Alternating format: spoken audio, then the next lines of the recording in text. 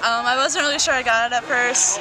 Um, I knew when they pulled out the other tape measure, but it feels pretty good now. And you know, what a difference from yesterday until today. What what did you change? Um, I just relaxed more, I guess. Disc was like an oh well thing for me, and shots really just been really important to me. So Was it tough though, you know, after having that happen yesterday, just to kind of get your mind right again? um, it was pretty tough. I had to take 10 minutes just like cool off for a bit.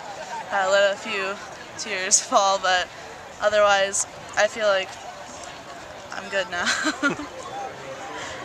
Did, you know, to do that, that was your last throw, right? That you got that on? yeah. Knowing that was your last high school throw, did did that ever enter your mind at all before you let that go, or?